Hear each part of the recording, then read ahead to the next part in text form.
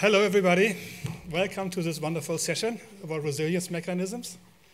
Let's see how resilient you are. So let me introduce uh, myself. I'm Volker Grimm from the Helmholtz Center for Environmental Research in Leipzig, and I'm organizing this together with Hanna Weise from the Freie Universität in Berlin. And we had this funny case when we prepared this session that we sent invitations to about eight people, hoping that maybe one or two would say yes. And then everybody said yes. So there was no slot, uh, slot uh, left for us, so we didn't have any time slot for us. But anyway, let's just start with our first speaker, our keynote speaker, Tom Oliver. He has time slots, two time slots, 30 minutes. Looking forward. Thanks, Volker. So, hello. Um, so, yeah, I'm going to talk today about uh, quantifying the mechanisms underpinning resilient ecosystem functions. So, uh, Spaceship Earth, uh, imagine it's 2050. Uh, you're an elite Earth steward uh, working closely with many others around the world to monitor and manage the biosphere. Um, international governments uh, recognize the, the, crucial importance of long-term sustainability uh, and uh, fund a whole a small army of field ecologists, engineers and technicians to gather the data that you analyze. Uh, they, they obviously uh, put into place international uh, policies rapidly so we can mitigate environmental impacts and navigate spaceship Earth on a sustainable course. Or maybe not. Who knows whether we'll be uh, there by 2050? But I guess what I want to talk about today is the instrumentation on this uh, panel uh, of Spaceship Earth and what it might look like.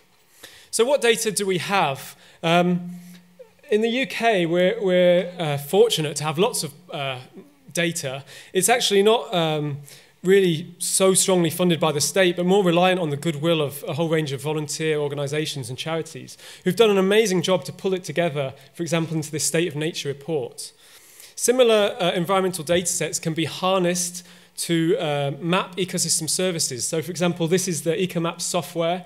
It takes point uh, measurements of proxies of ecosystem services, combines them with a range of different environmental layers, and using a statistical correlative model approach can extrapolate to produce these maps of ecosystem services. Or you could use process-based uh, models, such as uh, the INVEST modeling framework has some of these.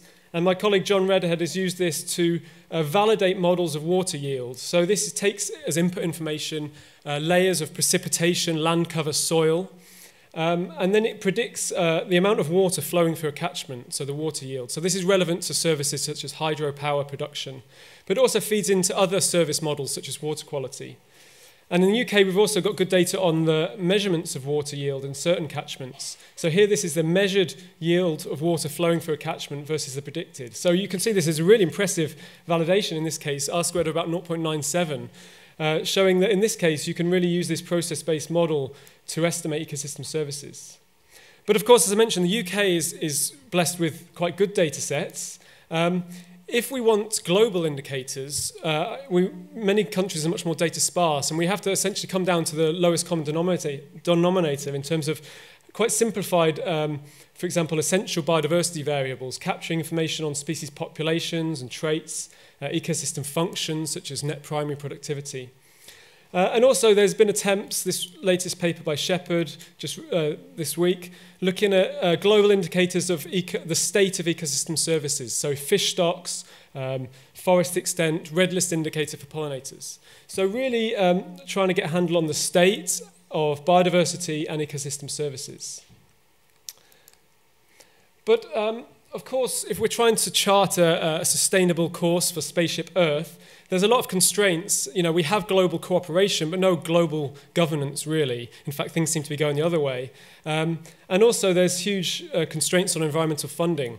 And it doesn't help with people like this, obviously, in charge. Um, but I want to put those constraints aside, really. Um, they're political, social issues, but ask about the scientific questions.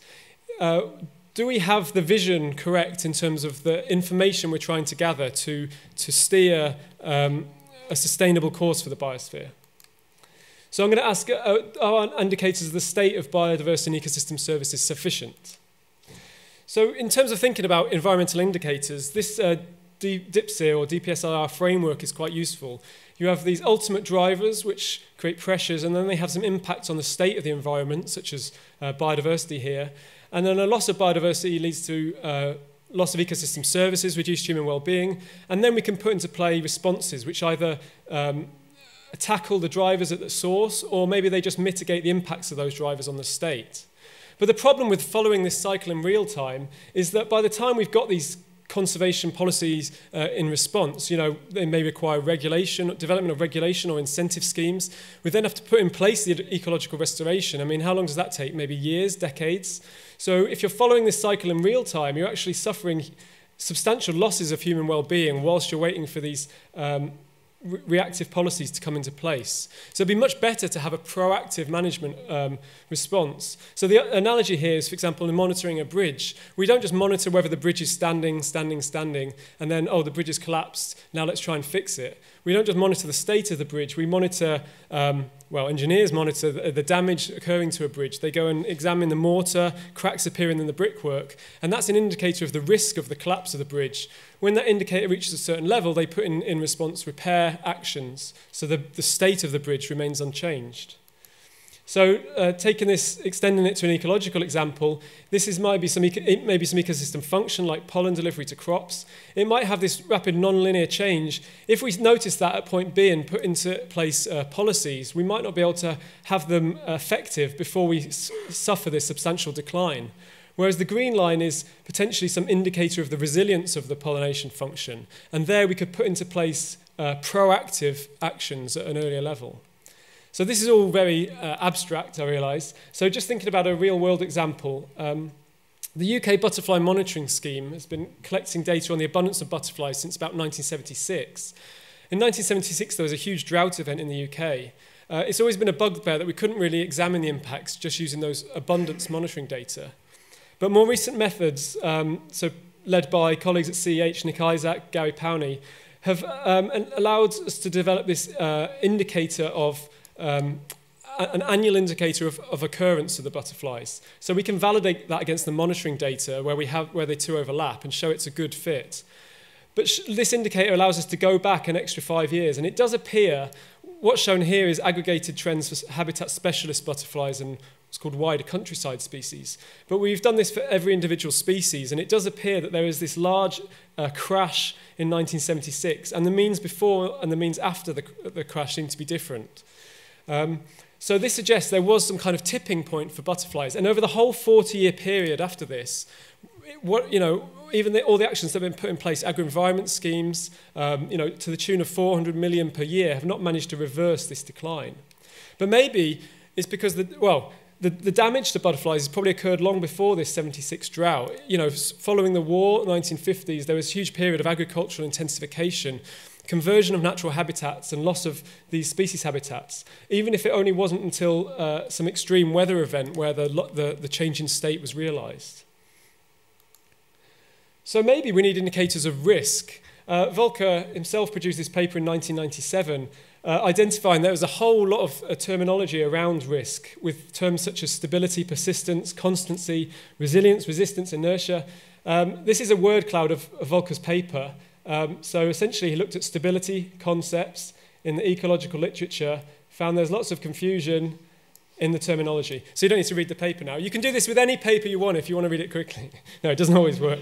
Um, but so uh, this, this was Volker's analysis, and, and realizing that actually a lot of these terms are, are very related with each other, and they can be termed under the umbrella of stability. More recently, people are using an umbrella term of resilience, and it comes more from this uh, systems, um, this ecological resilience literature. Um, but actually, I would say, or we have said in this, this short paper, that, that these two uh, sets of terminology, these two umbrella terms, have a lot of synergies, and actually they're very much about the same thing. And they're starting to converge. So traditionally, stability has uh, been used in the ecosystem function research. But though that research field is, um, the studies are being carried out increasingly larger spatial scales, at larger temporal scales, starting to look, look at multiple ecosystem functions, and even starting to think about ecosystem services. So it's starting to move towards the more holistic side. And ecological resilience literature, dare I say it, which has been a bit um, hand-wavy, is starting to become a bit more precise and starting to quantify these, uh, these indicators. So I think the two terms are moving together. I'm going to talk about resilience today. And the definitions um, have a, quite a history, but there's two broad definitions. One focuses on the ability of a system to absorb disturbances while retaining the same basic structure or ways of functioning, which I'll call resistance as a shorthand. And this definition by Pym about the ability of a system to return to a pre-disturbed state. So this is called engineering resilience or, or recovery simply lots of studies showing that uh, ecological systems can kind of flip states uh, from a more pristine state into a more degraded state with a lower um, lower delivery of ecosystem services. And it can be very uh, difficult and costly, if not impossible, to, uh, to push the system back into the more pristine state. But when we're trying to measure resilience as an indicator, what should we be actually measuring? If you look at the definitions, Holling talks about measuring uh, or retaining the same basic structure and ways of functioning. Well, the two are actually slightly different. It's a bit of amb ambiguity there. Pimm talks about a pre-disturbed state. So some authors have talked about uh, using species composition in terms of trying to uh, assess where a state is. just to, to highlight a, a word of warning, I think, in terms of using species composition, is that in some cases, ecological communities may need to be dynamic to maintain stability in those ecosystem functions. So a nice example is this community temperature index. Uh, this paper by Vincent de Victor shows that the community temperature index, this is essentially the balance of warm and cold associated species in a community. It's increasing over time in birds and butterflies across Europe, as you see here. And um, they, they see that as evidence that uh, species are tracking climate change. Um, if you think about this in an ecosystem service perspective, you know, if you're losing cold associated pollinators, you need the warm associated pollinators to come in. And that is that community dynamism which allows your pollination function to be maintained. So I would argue that we don't really want resilience of species composition necessarily. We want to really focus on the resilience of ecosystem functions that those communities deliver.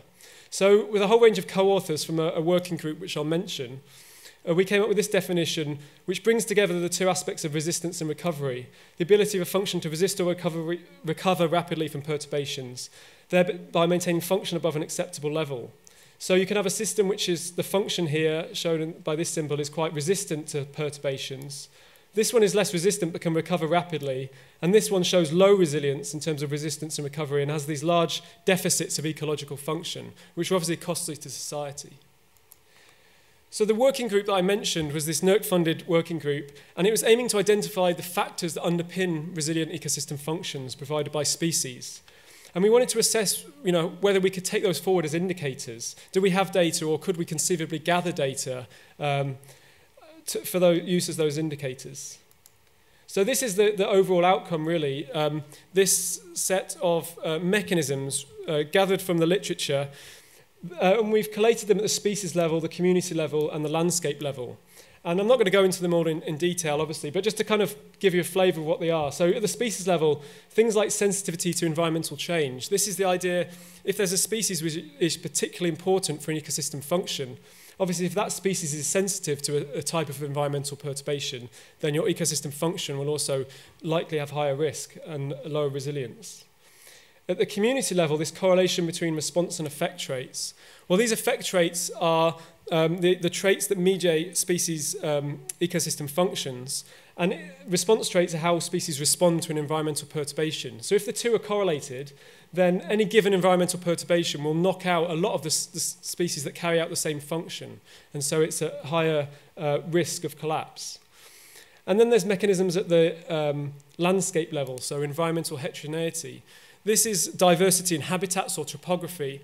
Uh, in, on the one hand, this increases species richness, which means you've got a range of species with, that carry out the same ecosystem function.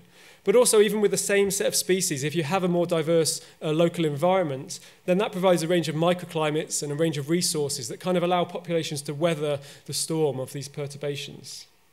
So I'm not going to go through all the, these in detail, as I said, but the aim of the working group was to was to move on from these and to identify indicators or potential indicators. So um, we've been trying to take forward some of these. One of them is this butterfly genetics monitoring scheme. And the idea here is that we measure genetic variability. So in terms of resilience, uh, having a, a range of genotypes in the population means you're more likely to have a genotype which is tolerant or can recover from some kind of perturbation. Um, Also, with regards to the, um, the big sort of Convention for Biological Diversity targets, their Aichi targets, number 13 is to safeguard genetic diversity. Well, we can't even measure it at the moment beyond uh, domesticated animals. That's the only indicator there is. So the target really is that we can measure this across multiple sites and over time. So I'm not going to go into it in much more detail. There's a website uh, you can have a look at. I'm not trying to promote or sell it in any way, um, but there are mugs, and I'll be selling, selling them at the front after the session. No, I'm only joking. But uh, uh, this just makes the point about the kind of lack of funding for environmental science. You know, this addresses, I think, one of the Aichi targets that is not being addressed at all. And yet there's very little funding available through, you know, DEFRA or JNCC or, or state to to do this kind of monitoring. So it's really been done on the kind of uh, free will of, of European collaborators sending in samples. So essentially we've got sites from the, UK and, and also European collaborators. So they don't get anything except a free mug. Um, moving quickly on, um, the, an example at the community level is this idea of functional redundancy. So if, if this is a species which carry out much the same function, and if you lose one species, then maybe another can step in to take its place. So to give a, a bit more of an example of this, uh, we carried out this analysis of, of the biodiversity in, in the UK, for which we have data for. So about four, uh, four and a half, almost four and a half thousand species across all these different groups. So bees, birds, centipedes, crane flies, harvestmen, hoverflies. Um, so this is distribution records that we can analyse, controlling for recorder effort to produce a trend for each species over time. And those trends are grouped by these different ecosystem functions that the species provide. So whether they're pollinators or they control pests or they decompose waste. And what we looked at is the balance of species that show significant uh, declines in red or significant increases. And for certain ecosystem functions, uh, namely ones that provide pollination or pest control or cultural values provided by animals only, um, as opposed to plants and animals together, these groups showed uh, where the declines really outweighed the increases. And then from there, this is the figure you saw before, but we did this additional analysis saying, okay, we've got these native declines in many groups, but maybe is there any possibility that new species coming in from, um, from the continent could in any way offset those declines. And it's just really a, uh, an assessment of the numbers. Essentially, there's lots of plants that have come into the country, but in terms of new animals for pollination pest control, there's no way that those new arrivals since 1970 could offset the, the losses in resident species. But what we're not saying here is that in the UK over the last 40 years, there's been a, a decline in pollination services. What we're, we're not saying that the crops are, are lower yields now. We're saying that there's been an erosion of the species richness that perform those functions. So there's an increased fragility or, or a reduce, reduction in resilience of those ecosystem functions and services. Um, there's a lot, obviously a lot more work to do here. We characterize these at broad levels, but you could think about pollination of individual crops and think about functional redundancy at that level. We've also taken further another approach at looking at network interaction structure. So this is the idea that the way species uh, interactions are organized can make certain uh, communities more re uh, robust or resilient to some kind of perturbation. So uh, those studies obviously really, you know, hugely work intensive to go to a site and sample all the different species you find there. So we're kind of trialing a different approach where you use citizen science data to look at these national networks, uh, visitation networks between plants and pollinators, and ask whether we can use that national network topology to infer a network locally based on a list of species that we've got.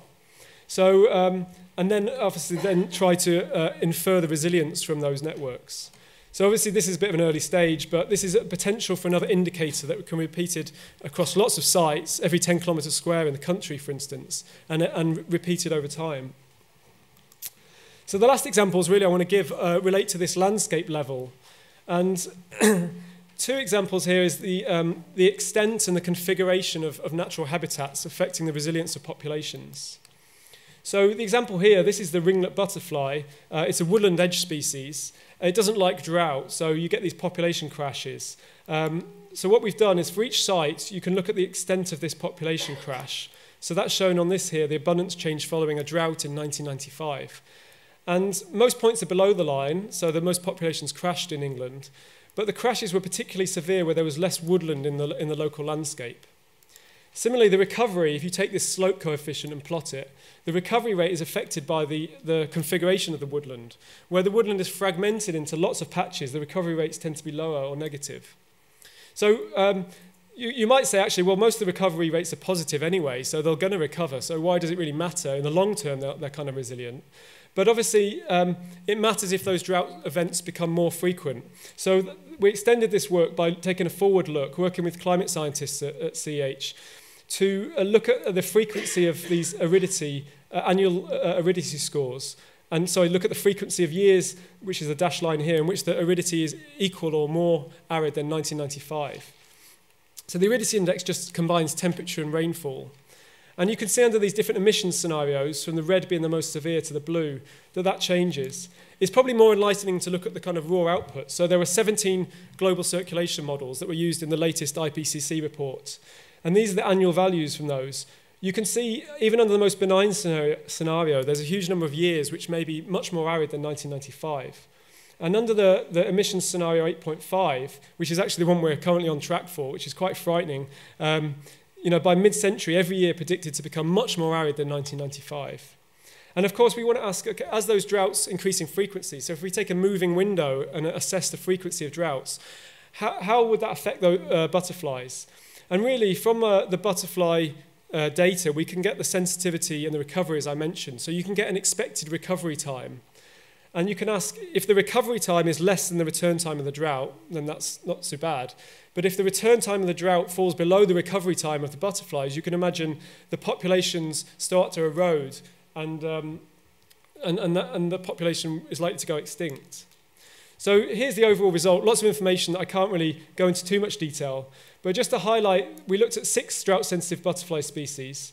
We captured the uncertainty in our outputs in terms of the probability of population persistence. So this is the proportion of global circulation models in which the recovery time is still less than the return time of the drought. But as your moving window moves forward, that decreases. Under the most benign emission scenario, you can see the persistence is about 60%. That's because we're already locked into increases in drought events. But if you go on the high emission scenario, that tails off real rapidly. Uh, and obviously it changes depending on the landscape scenario as well. This is the amount of semi-natural habitat, whether we have lots of natural habitat or less, and whether it's fragmented or not fragmented. And obviously the probability of persistence declines uh, correspondingly. So the overall take-home message from this work is we need to do both. We need to manage our landscapes better and, we, and mitigate CO2 emissions.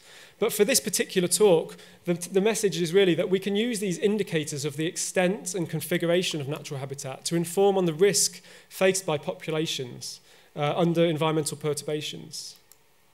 And if we had these kind of indicators, imagine if we had these indicators every year from 1950, we'd have seen this gradual uh, decline in the level of uh, resilience. And maybe that would have prompted policymakers to take proactive action. Of course, then you've got to convince them that, to do that, uh, which is another difficulty. But that, that would have shown a gradual decline rather than this, this nonlinear change in state.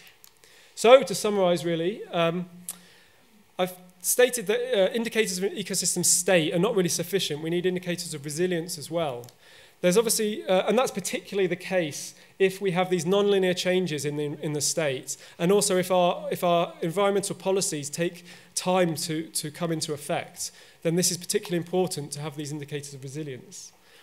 There's lots more to do. I've talked in the latter half about population resilience, but of course the functions are delivered by the species themselves, uh, sorry, the communities. So we need to think about how those populations combine into communities. Um, I've talked about lots of possible indicators, genetic diversity, functional redundancy, uh, networks, functional connectivity. Do we present those as separate indicators or do we aggregate them together to convey the message about resilience? And in terms of conveying messages, I think we really do need to work across disciplines, work with economists and other social scientists to really think about how we communicate those levels of risk. And just really my last slide is to this, uh, talk about this planetary boundaries uh, concept. This has been a really powerful concept in terms of conveying levels of risk. The idea is that um, there are these planetary safe limits, and if we keep degrading the environment, we may cross these thresholds, in which case the risk of a, of a catastrophic uh, loss of ecosystem service increases rapidly. And um, this has been really powerful, but of course there's huge amounts of uncertainty. We don't know whether there's a single planetary safe limit or whether they're regional. We don't know whether biodiversity has a single safe limit, or maybe there are different safe limits for different ecosystem services provided by biodiversity. It's also time dependent. If you're thinking about 100 years rather than 50 years, you're more likely to have a large environmental perturbation. So you need higher levels of biodiversity to, make, to suppress risk to the same level. So there's a lot of, of nuances here and a lot of uncertainty. And I think we really need to, to, to work better and work more at quantifying that uncertainty. Um, to give an analogy with the climate science, it's only when climate scientists kind of got together with economists and really started to quantify what the impacts to livelihood and health could be from climate change before policies were really started to be put into place. And with the, the biodiversity 2020 targets, there's been a, a kind of woeful you know, lack of policy progress towards uh, meeting those targets by 2020. And I think in part this is to do with the uncertainty. And you know, we can convey the total value of ecosystem services, but I think we need, we start, need to think more about conveying the, the marginal um, values associated with, with different policy options. And maybe then, of course, we, we can use those indicators of risk to uh, populate our instrumentation controls and uh, steer uh, a sustainable course for Spaceship Earth. So uh, thank you for listening. Thanks for Volker and Hannah for inviting me. And of course, thanks to lots of co-authors whose work I've presented here. Thank you.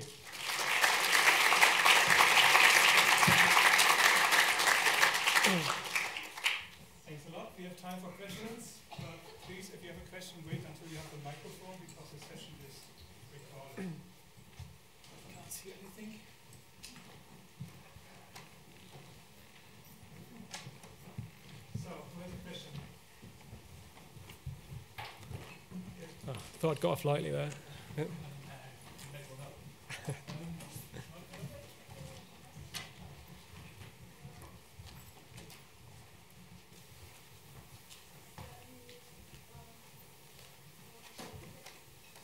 yeah, maybe I did get off lightly.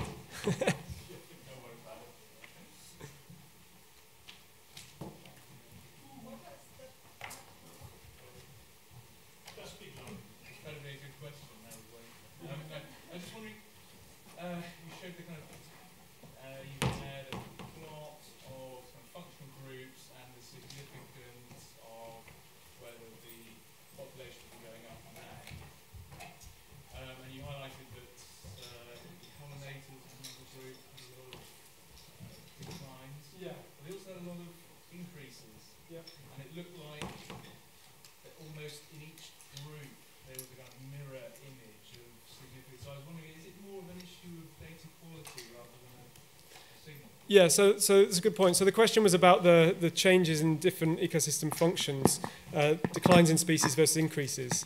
And yeah, there's a definite pattern where if you have more data, you're more likely to get significance. So there's more blue and more red for, for groups or for ecosystem functions for which the groups have more data. But that's why we, the test was an, an odds ratio test and it's essentially asking whether the yeah the amount of red um, is different to the amount of blue. And although there's not huge amounts of differences, because the sample sizes are quite large, you know, there's there's a four and a half thousand species in total. There were differences, and in the in the paper there is a plot showing the odds ratios, and you can see so for pollination, pest control, and the cultural values provided by animals, that there is this this um, imbalance where the declines outweigh the in increases. And actually, even if they didn't, even if they were equal, you could probably make arguments that that is showing really a sort of homogenization of biodiversity because the increasing species are spreading out across the country and the, you're getting declines in a lot of the specialists. And so actually that could still mean local reductions in biodiversity, but we were a bit careful about making those kind of inferences, but it was a lot easier when, when the, there were differences in, uh, and the declines did outweigh the increases. Yeah. Thank you. We have time for one more question. Oh.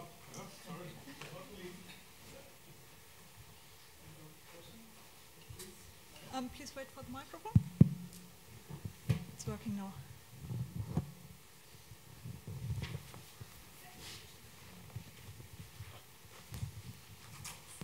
Um, so this might be a bit of a tangential question to the talk. So it seems to me that the argument of um, preserving the ecosystem is still centered around the ecological services that they provide for the humans. But I think the great danger there is that, especially with like Trump administration and things like that, because it's a subjective judgment. So um, if you're preserving the ecosystem for the sake of the, um, the services that they provide to us, depending on how you determine that which ones are valuable for humans, then you decide on your conservation priorities. So what do you think about the uh, idea of actually shifting our perspectives from preserving, preserving the ecosystem for the sake of ecosystem services to purely preserving for the intrinsic values that the ecosystems have? Yeah, no, that's a good question. I think um, so this, this kind of utilitarian approach, uh, of course, you know, makes a lot of assumptions, but I think, uh, you know, it, there is the science there in linking these changes in, in the environment to, to human well-being, even though you have to kind of measure well-being in, in different ways and it's not something you can easily get at. Um, but I think there is, of course, a case for preservation for preservation's sake, sort of moral argument in, in a way. Um, there's a danger. So the initial, I guess, the ecosystem services paradigm, I'm going to cover this in a, in a one-minute uh, question, was about preserving species which provide ecosystem services now. Uh, but I think what I'm trying to say is we need to move beyond that and think about the species that can provide ecosystem services that are resilient in the future. So rather than just the 2% of pollinators that provide 80% of pollination service from the Klein paper, you may need to conserve more pollinators. But of course, actually, not all insects do pollination, and there's a whole lot of things we don't really know what they do. And you could, I think there, there is a certain case where, you know, only even the resilience for ecosystem services argument goes so far. And if we want to conserve all biodiversity, we need to go back to these moral arguments. But then almost we're back to square one, which is where conservation was in, you know, the, the 60s. And so we need to rethink that we don't make the same mistakes where people just ignore us completely because we're not expressing utilitarian, you know, the values to people and the importance to people. So yeah, not really an adequate answer, but uh, we need, think we need a whole symposium on that question.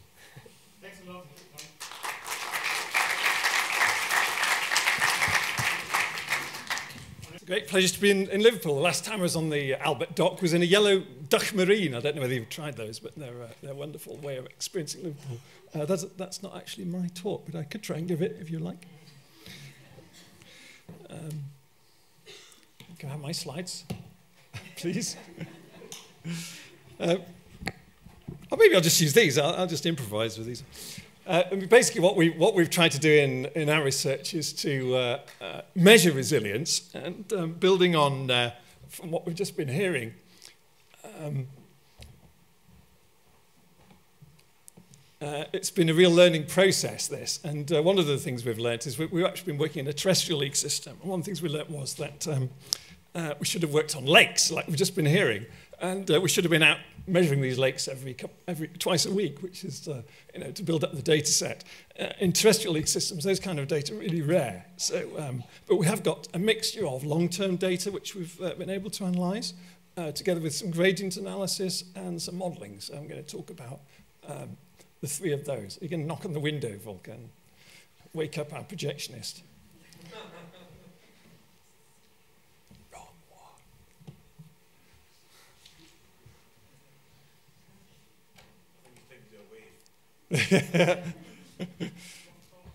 Wrong talk. Can you hear me in the room at the back? Uh, tell some jokes. Okay. Uh,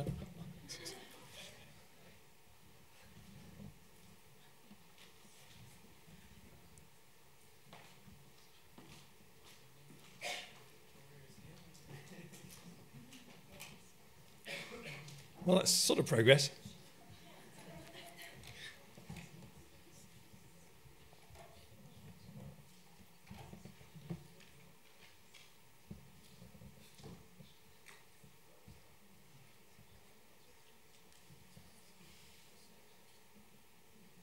Do you want me to come up there and have a look?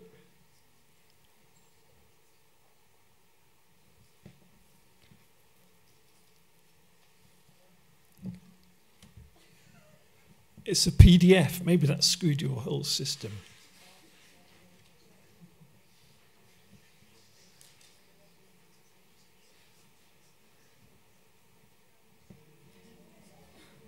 Yes, we're there. Great. Thank you very much. So. I hope it was worth the wait after all that. Um, so yeah, so we've tried to do this in, in a temperate system. So very quickly, I'm just going to talk about how we've approached this and uh, the results that we've got. Oops. Hopefully. This is just not fair, is it?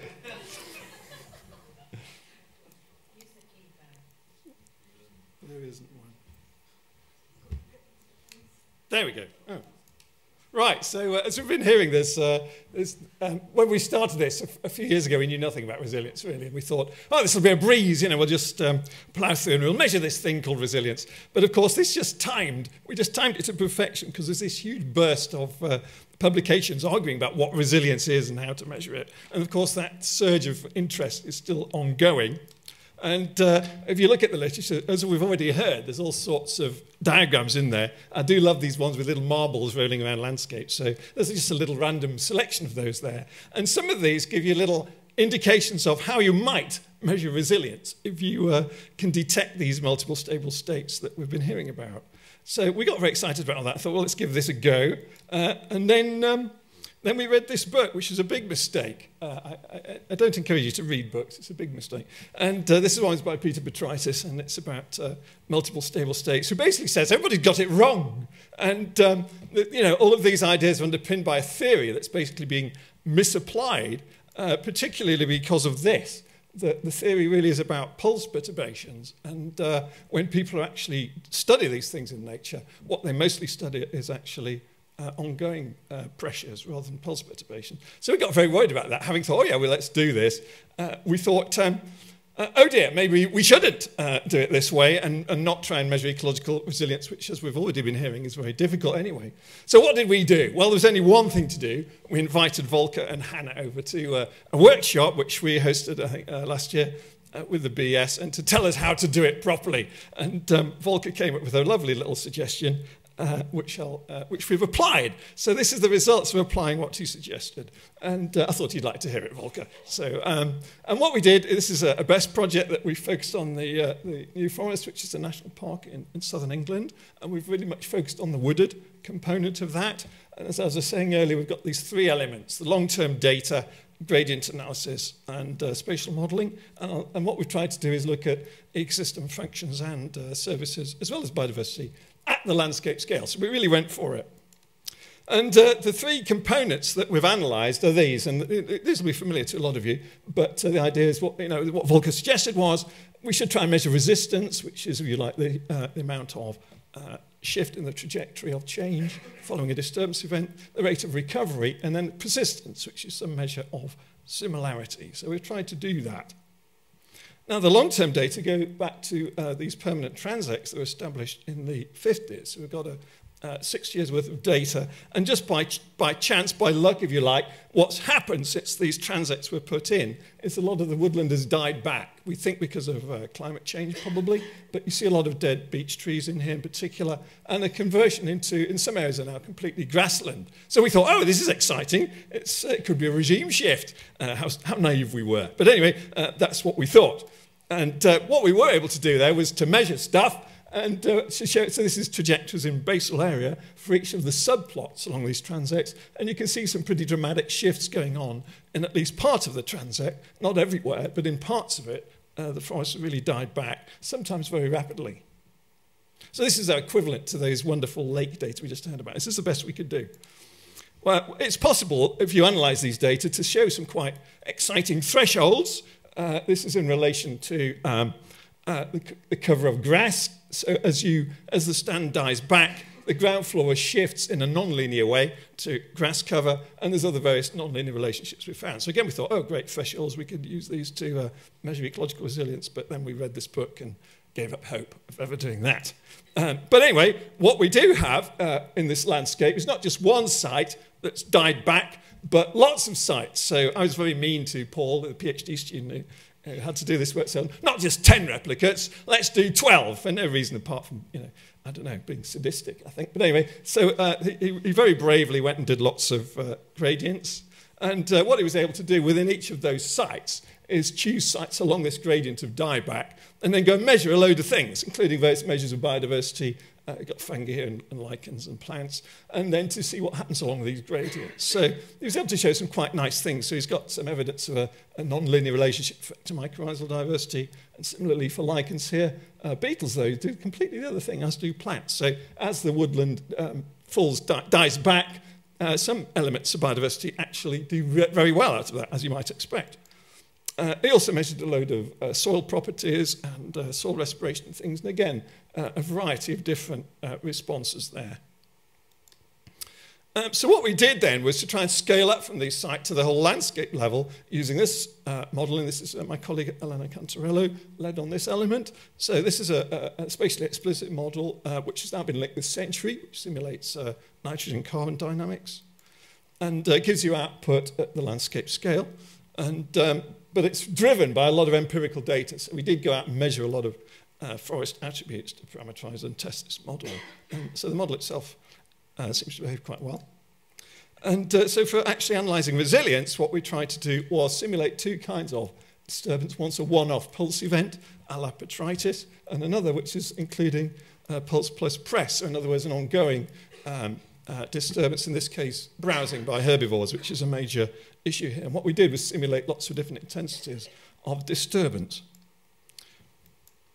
And uh, here's a whole lo load of things that we measured, including, again, uh, biodiversity um, measures and, and various functions. These are the data on those gradients. Um, so we integrated those data into the model. And this is just to show you uh, some of the results of the simulation, so you can actually see, yes, it's sort of behaving, at least some of the time, uh, you're getting this drop. So you can start to immediately see, after the disturbance event, a drop and then a recovery uh, giving you a chance, therefore, to measure these different components without any assumptions about multiple stable states or um, any of that. We're sort of saying, okay, let's just put that on one side. It may or may not apply to forests. Uh, the evidence is not really there, whether it does or not, these concepts. But we, nonetheless, we can use these other measures of resilience. So this is just to show you the kind of thing that we got. So here we take resistance, the first of these resilience components. Uh, what we're finding is that the two sorts of disturbance regime behave very, very similarly for more or less everything. Um, so it doesn't make much difference whether or not you include a pressed uh, a disturbance as well as the pulse. Uh, but again, sort of variety of responses here, mostly linear. Um, and uh, you know, you can see here as you increase disturbance, a decline in the resistance of uh, things like fungi richness and things like carbon stocks in a kind of predictable way. If we look at recovery, we now start to see a very big difference between these, um, these forms of disturbance. So now we're actually seeing that uh, the, you know, the, the recovery takes a lot longer in the presence of herbivores. That's what that means. So when you've got these, uh, these two forms of disturbance acting together, there's some form of interaction going on, at least for some of the functions that we looked at, uh, and for some of the measures of biodiversity, that um, we're actually getting a, a, change away from a linear response into perhaps more of a, a non-linear and uh, if we look at the third element, we've measured persistence. And again, it's a similar story, at least for some of the measures that we've looked at. Uh, we can start, for example, carbon and recreation, which we, we measured through a load of visitor surveys and things like that. We can actually see that, yeah, we're now getting a difference. So the results are dependent on the kind of, not only what you're looking at, but the kind of uh, disturbance regime you've got. Now, one of the things we were keen to try and test was that um, if you've got these different measures of resilience, do they correlate with each other? So ideally they would, because if they did, if you, if you could show that resistance and recovery, for example, were, were correlated, then you could combine everything into one simple measure of resilience. But uh, that just didn't work. Uh, and that's bad news because uh, what that means is that um, we really can't combine these things. The results are, again, dependent on which element of the system you're looking at, but also um, uh, which kind of disturbance regime you're, you're applying. So the take-home messages are these then. Uh, we we were quite proud of this in the sense that if one puts aside all this baggage around of multiple stable states and measuring ecological resilience, if you just measure these, uh, these three components of uh, resistance, recovery, and persistence, it's possible to measure them, or at least estimate them, using the approach of, uh, that I've highlighted here. Um, generally, what we found in, in this particular uh, woodland ecosystem was that ecosystem service and biodiversity measures were generally resilient to a one-off disturbance, but not to a one-off disturbance followed by a continuous disturbance. So in, in, in relation to management here, the issue there is then um, how do we actually uh, strengthen the resilience of this forest would be about herbivore control. And if we start to think, well, what are the mechanisms underpinning um, resilience in this system, which we're just beginning to really try to get a handle on there, uh, then uh, clearly the ability of these species to regenerate is really crucial. Uh, and thirdly, these three resilient components were not consistently correlated with each other. So it's very challenging then to combine them into a single overall measure of resilience. Therefore, when we're using this word resilience, we really should be thinking about breaking it down, I think, into these different components. Thanks very much. Oh, and here's the, here's the people that can answer the questions.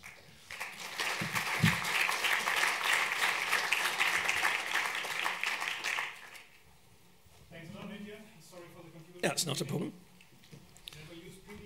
Never use PDF. and we have time for one question still.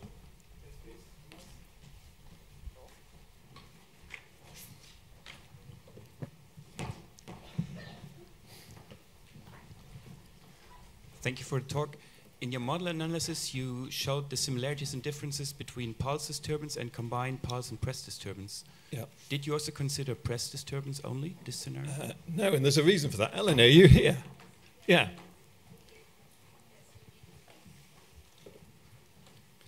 Yes, so we run a model just with press, um, one just, well, several with pulse with different intensity, and one with pulse and press combined. So, yeah, so we did consider only press as well. Well, I'm sorry. That's fine. No, I'm, I'm delighted. Thanks. is around here. Uh, let's move on to the next speaker, Victoria Radchuk from the Institute for Wildlife Research and something else in Berlin. Right? Yeah, that's correct. Thank you. So I'm going to present you the results of meta-analysis in which we asked whether species responses to climate change are adaptive. And this work was possible uh, due to many collaborators who shared their data and was conducted at the Leibniz Institute for Zoo and Wildlife Research in Berlin, Germany. Climate change is happening. I think I don't have to convince anyone in this auditorium that this is the case. And there are several ways that species can respond to climate change. First way, which is rather the absence of response, is by going extinct. That's what happened to large blue butterfly here in the UK in the end of 70s. The second way the species can respond to climate change is by shifting the distribution range to the northward locations that are becoming more suitable with the warming climate. And Pararge aegeria also shifted the distribution range northwards across the UK during the last century. The third type of response is by adapting. So either genetic adaptation, meaning microevolution, or using adaptive phenotypic plasticity. And adaptation is the focus of a talk today and of this study. And I have to notice that I'm, when I'm referring to adaptation, I mean either microevolution or adaptive phenotypic plasticity for the reasons I'm not going to detail right now. It's important to study adaptive phenotypic plasticity and adaptation because adaptive phenotypic plasticity was shown by Oliver and colleagues, and Tom was so nice to introduce all this mechanism already. So adaptive phenotypic plasticity was shown to be one of the resilience mechanisms at the species level. Climate change can affect several different species traits. Phenological traits, such as change in timing of the biological events, are shown to be uh, affected a lot by climate. Examples of phenological traits are uh, leaf burst, egg laying date, um, flowering date, etc. And across many taxa, during the last decades, it was shown that the phenology is advancing. Morphological traits are also changing with climate. So, for example, body size or the wingspan is affected by climate and is changing.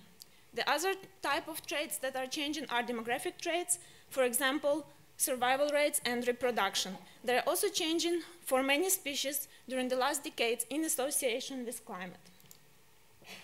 So in this study, we asked two questions. The first one is, how does climate change affect animal traits? And to answer this question, we adopted the following framework. We assume that only the changes in traits uh, are associated with the changes in climate if the trait value is associated with the climatic value and the climate factor, the climatic values are consistently changing across the years. So basically we are controlling for the absence of effect from the year on trait that is not mediated by climate. And we look at the three groups of uh, traits that are just introduced, so phenological, morphological, and demographic traits.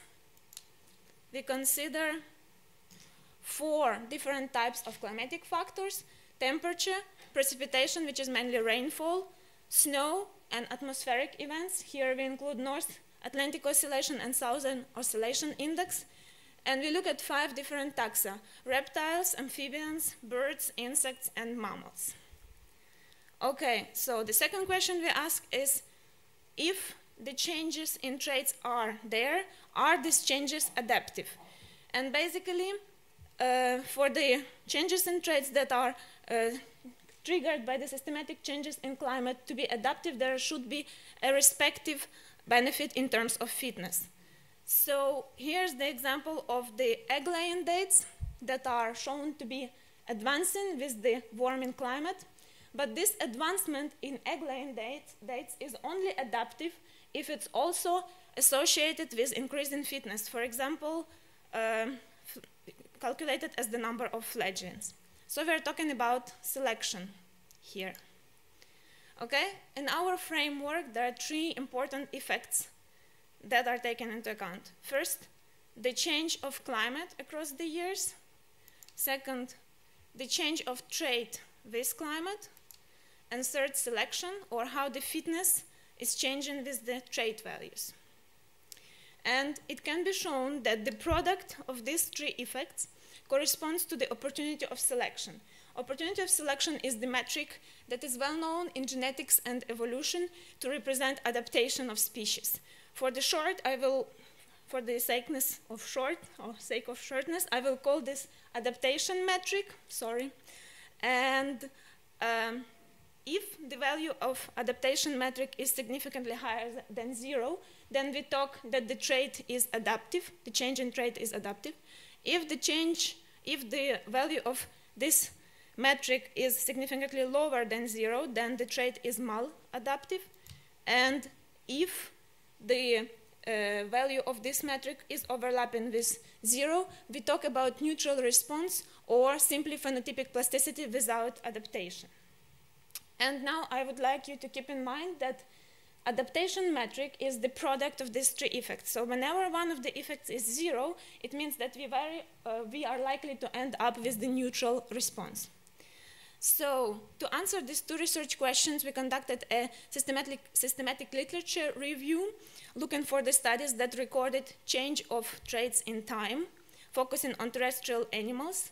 We only looked at those studies that uh, quantified quantitative phenotypic traits, so we discarded the studies looking at coloration. And for the second question that asked whether the traits are, changes in traits are adaptive, we uh, searched for the studies that quantified selection.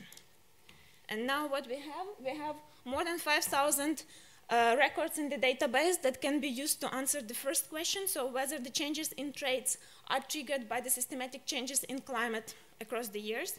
And a subset of this data set of 122 records also has data on selection. So basically, these 122 records can be used to answer the question whether species uh, changes, whether the changes in traits of species are adaptive in response to climate change. And that's what we have. The full data set that consists of over 5,000 records is represented by 46 studies and covering 880 species. So you can see we have much less studies than records. That's because certain studies report relationship for many species, and for each species you can have several different trait categories that are linked to several different uh, climatic factors. Mainly, the data is located in northern hemisphere, and unfortunately, southern hemisphere are understudied. And this is a subset of those 122 records for which we had the data on selection. Um, again, these are 26 studies that are conducted on 14 species, and you can see that they are predominantly located in Europe. So what do we cover in this data set? The full data set is shown in black and the subset of 122 records with selection in orange. And you can see that there is a bias towards studying phenological traits in both data sets, but in the subset with the selection data, this bias is less pronounced. Also, the two data sets differ in the taxa that, are that they are predominantly focusing on. So the full data set is mainly consisting of uh, records for insects, whereas the data set on selection is focused on birds. Now, the average, uh, so the duration was, of the study was from 8 to 84 years, and on average, the full data set had the studies of 19 year duration, and the average duration of the studies in the dataset with selection was 28 years. And now the results. So here you can see the adaptation metric for 122 records that we have. On the left are shown studies, but you don't, you don't see them, and that's not a problem because the main message here is that most of them are neutral, shown in dark gray. I hope you can see that. Majority of them are gray and overlapping with zero. And actually, when we run the random effect model across the studies, there is also zero adaptation. There is only one maladaptive response and 11 records that showed adaptation. So then we asked, okay, are those 11 records maybe species specific or specific to a certain trait category? But that's not the case. Again, here the gray is for neutral responses and black for adaptive responses. And you can see that for any single species, for example, uh, great tit here, for the species that we see black symbols and gray symbols, there are both of them. So the species cannot explain adaptation. Neither statistically we could not explain adaptation by trait type or climatic factor type. Then what explains adaptation? Why do majority of these responses are neutral? And now let's remember that adaptation metric is a product of those three effects. And let's decompose it and look at each effect in turn. So now we look at the first effect, how climate changes across this, the years.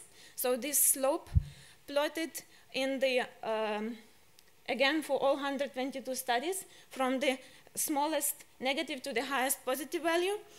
Uh, again, the black shows those responses that were adaptive and gray, the neutral responses. On average, you can see here that in majority of the cases, this slope is overlapping with zero. So basically, in those 122 studies, the climate didn't change with years. Now, the second effect, uh, the effect of climate on, on trait, we see much more variation here, and we clearly see that there are some studies that show negative response, significantly negative, or significantly positive response. And basically, on average, here we see a significantly positive response, here shown by gray dashed line. So on average, the studies uh, showed significantly positive change in trait with climatic factor. And the third panel, selection, again, there is much less variation than on the second panel, and on average, there is no selection across all 122 records. So the neutral response that we see for adaptation is because of either there was no change in climate across this, the years for those 122 records, or and there is also no selection on the studied trait. And I would like just to highlight it with the small visualization for two species. So here on tree um, axis, you can see these three effects. On axis X, the effect of here on climate. On axis Y, the effect of climate on trait and the selection on axis Z. And in two different colors, I highlight two species that are barn swallow in uh, violet. That species didn't uh, showed only neutral responses, and uh, blue tit in cyan has shown some uh, adaptive responses. And what we can see, if you just focus on the violet dots, any of them very often falls at zero value for at least one of the uh, axes. So with this, I would like to conclude. Studies on selection, unfortunately, focus mostly on birds. And we need more studies on mammals, reptiles, and amphibians. They are possible and they are there, but they're not commonly done. We found 9% of inspected species and traits that showed adaptive response. Neutral response is often either because there is no change of climate with years or and there is no selection. And it still remains questionable whether 9% of adaptation found in our records is meaning that species can adapt or not. Because remember, the average duration of those studies are 30 years, which is fairly short. And I would like to thank you all for your attention.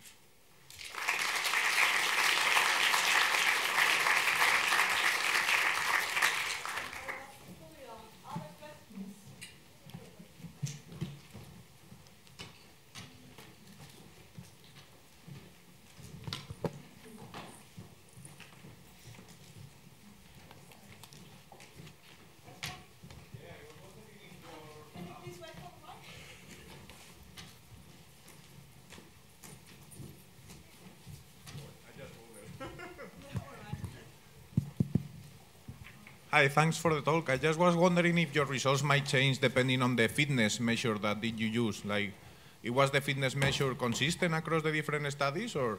Uh, no, we actually used several different fitness measures because, as you can imagine, uh, they didn't use all the same measures, but we tested for that, and fitness measure doesn't have effect, which may be because there are not so many studies in the end to test for. We had four different uh, fitness measures that were used, and for 122 records, it's uh, yeah. But there was no uh, no significant response. All right, thanks. Yeah. Um, okay, one more question. Okay, just ask later. Okay, thank you. Our next speaker will be Rachel Standish, um, and she will be speaking about experiments.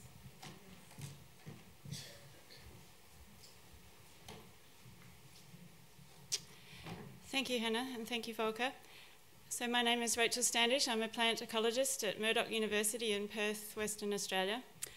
I like experiments, and today I'd like to share with you um, some thinking we've done recently to understand what experiments might tell us about resilience of communities to disturbance. My co-author is Nancy Shackelford. Nancy is a PhD student based at uh, the University of Victoria in British Columbia. Uh, Nancy is also a plant community ecologist, and um, one of her experiments is, is, pictured on this title slide here. Um, and she has a special talent uh, with numbers. In December 2013, uh, Nancy, myself, and Jane Catford, sitting in the front row here, used to be with Australian National University, now with the University of Southampton, um, invited a group of ecologists to a workshop at Rottnest Island off the coast of uh, West Western Australia, um, primarily with the aim of asking the question are there community attributes that confer uh, resilience to disturbance? Uh, each of these ecologists was invited because they possessed um, data sets that allowed us to uh, look at this question so um, each of them had data sets that tested uh, community, so community level data, responses to necessarily discrete disturbances, and then um, monitoring data beyond then, uh, beyond the disturbance, uh, to track their, their recovery through time. So what we um, ended up with uh, was 14 studies of, of, community response to disturbance, but there were multiple data sets at, at each of these um, stars on the world map. So we had uh, 27 individual comparisons of um, how communities respond uh, to disturbance. Uh, the types of communities were quite diverse. Uh, so we had ecologists with uh, data sets for coral reef, tropical forest and, and the rest there. So both um, uh, terrestrial and aquatic ecosystems. And uh, a, a, bunch of different disturbances, um, including both uh, human-induced and the more wild-type uh, disturbances. Uh, we settled on our definitions of, of, resilience and we referred back to um, Holling's original um, definition that you've um, already heard uh, speakers mention here today. There was a general agreement that this uh, definition was useful because it um, defined um, a threshold between uh, the sort of desirable states, if you like, and these um, alternative um, degraded states that communities may shift into uh, occasionally. Uh, we also liked Pimm's um, definition of resilience because of its focus on time, uh, time being something that was easily, easily measurable and um, also something that managers um, might find useful. And because one of the original motivations for the workshop was to understand how the resilience concept might be uh, useful to managers, um, we adopted this uh, definition as well. Uh, then we had to decide on um, a measure of recovery, um, and as Tom illustrated in uh, his talk, there is no ideal measure, um, but after much discussion, we um, settled on compositional dissimilarity, uh, which is essentially um, the uh, these are in ordination space. these are species composition of disturbed and control plots. um, and we measured the distance between um, each of the disturbed and then the, the centroid of those control plots.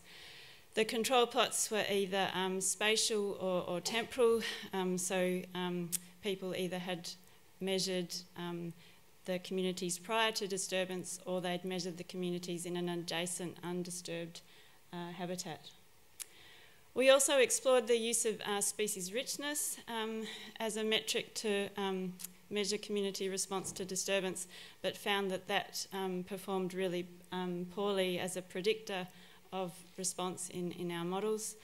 Um, we talked about using trait-based approaches, but um, there were basically not enough data to, um, to fill out the response variables for trait-based approaches. We came up with a list of over 20 explanatory variables that described both the disturbance um, and the community attributes as well as time as um, a way of looking at community response and after eliminating um, uh, covariation among those and um, also explanatory variables that weren't uh, significant in the models, we came up with these um, ones here. So the size of the species pool was essentially the list of um, species that were unique to both control and disturbed plots. Landscape connectivity was a binary measure. Um, essentially, if the disturbance was uh, much larger than the community, then the landscape connectivity was given a score of zero, where if the disturbance was um, discrete in space and there were undisturbed patches around um, the plots that were measured thereafter, then landscape connectivity was given a score of one. Disturbance intensity um, was rated by each of the authors of the study um, relative to the size of disturbances of similar type in that landscape um, over the century prior to um, uh, measurement. Um, time since disturbance in years and then standardised by the average generation time of the organisms in that community um, and in our case um, spanned from um, months for some of the microarthropod communities uh, through to years for some of the plant communities and then decades uh, for corals and other forests for example. We came up with some fairly um, simple predictions. I'll just present the sort of linear predictions, but of course, um, non-linear responses are, are, quite possible too. Um, we, for the, with time on the x-axis here and compositional um, dissimilarity on the y, a very simple prediction is that compositional dissimilar dissimilarity will decrease um, with time. That is, that we'll see recovery. Alternatively, um, communities may not recover in time and um, they might uh, trail off to an alternative uh, state. We hypothesise that in communities with stronger underlying resilience facilitating mechanisms, um, what we might see is um, a faster recovery time or in fact um, communities might start off um, being more similar after disturbance because of increased resistance to disturbance um, and then um, uh, take some and then have a similar rate of recovery but end up recovering uh, more quickly uh, or a combination of those two um, things. And we hypothesise that with increased severity of disturbance, um, communities might be pushed further away from their pre-disturbance state but might have um, a similar rate of recovery but ultimately take a bit longer or they um, may not recover at all. So as I say, fa fairly simple predictions. Um, there are more complicated ones, but um, they're, they're the ones we settled on. And what did we find? We found, uh, so I've plotted just um, compositional dissimilarity increasing across um, this arrow here. Uh, we found very quick recovery in forest plant communities um, two years after Hurricane Gilbert, so um, their compositional dissimilarity to the control plots uh, was low. Um, similarly, uh, bryophyte communities um, showed a fair degree of recovery uh, 35 years after clear cutting in Swedish forest. and similarly for um, fish communities uh, nine months after an anoxia event in an Australian estuary, um, whereas a wetland plant community uh, six months after Hurricane Katrina had showed almost no uh, recovery whatsoever. Um, then we did some modelling, or rather Nancy did, um, and to do that she first um, converted these um, compositional dissimilarities to Hedges G, which essentially standardises those measures among the different studies um, while allowing for the variance among them. Um, and she used uh, linear mixed models uh, to look at the contribution of those explanatory variables to describing recovery, and she found oops, sorry, a significant um, effect of connectivity. So essentially, um, plots that were connected to undisturbed plots uh, showed a um, more similarity or, or less dissimilarity uh, than uh, compared with uh, plots that were unconnected in the landscape.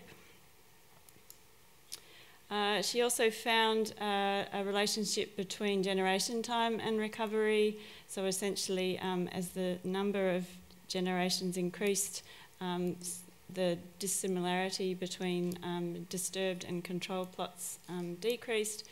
But of course, um, these data are strongly um, biased or, or, leveraged by this study here, which was the snail community um, study in, in Sweden where there had been lots of generations um, uh, turnover in that um, time. And uh, this study here, which had a higher dissimilarity, which was the um, rangelands in, um, after the removal of summer grazing in the US. Uh, we found no um, relationship of disturbance attributes to recovery, so no significant predictors there. So we concluded um, from this meta-analysis that um, connectivity and time are important, and um, that's what these particular experiments um, taught us about resilience. So in, I've just shown a, a, photo here of an old field in southwestern Australia where um, connectivity to remnant bushland for seed sources has shown to be important for the recovery of the old field after the removal of um, grazing. Um, and I've put these um, taller trees in here as a reminder that um, for some of our long-lived communities that um, time is um, a long time for recovery. More generally, though, um, we recognise the limitations of experiments, and some of the speakers before me have talked about this too.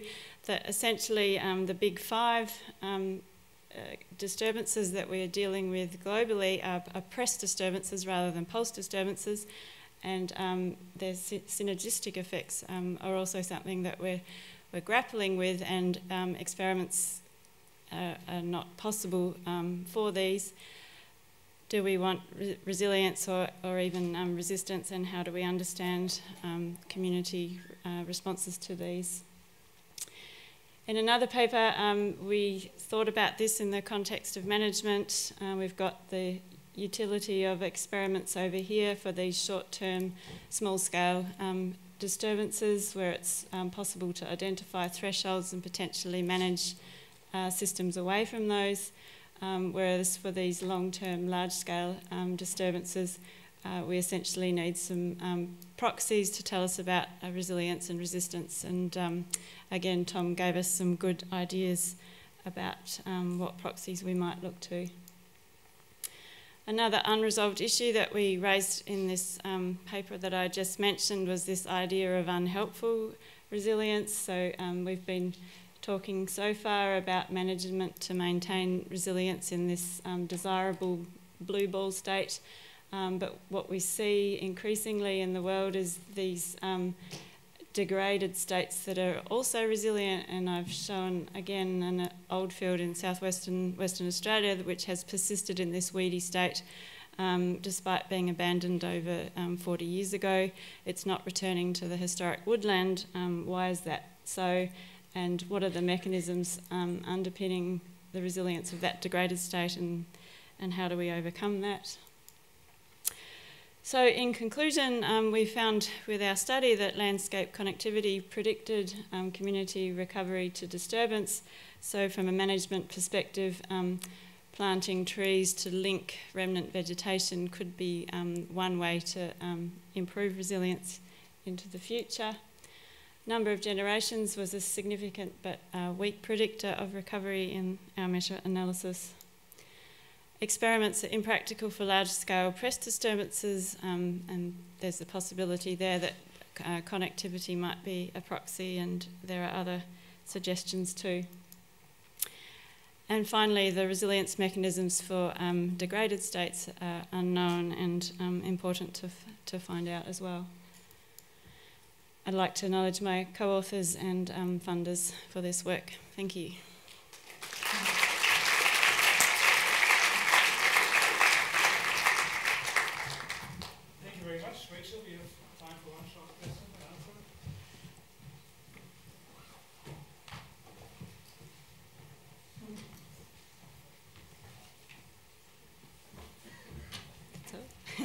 Question, um, a short one. Uh, don't you think that analyzing unwanted resilience is actually quite promising in understanding basic resilience mechanisms? Because, for example, the metapopulation concept has been developed and people try to eradicate a species. So it was un unwanted resilience. So it's, it's not only a bad thing. Yeah. good idea, Volker. You've had lots of good ideas that have informed this session. You just had another one.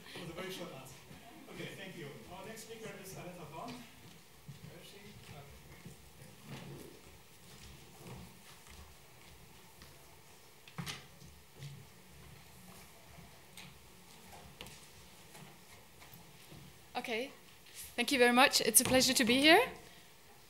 Um, I didn't have a PDF, but a PowerPoint. Okay, great. And uh, I'm very, uh, very pleased to talk about resiliencing, a concept which uh, Volker and Hanna are promoting now. And this is really to operationalize the risk and resilience management in biodiversity and ecosystem services uh, conservation. And um, following my uh, predecessors, this is my quote from Volker, because he inspired me really years ago at the uh, German uh, meeting of the uh, Society of Ecology with a talk which he began with exactly this, uh, this quote in German, obviously, frogs don't cry, and here explained uh, the stability concepts and dynamics of, of change and uncertainties and what this means and for a frog population in a, in, in a metapopulation of, of lakes. And what do they do? Um, they don't know how the lakes are going to, or the ponds are going to look like next year.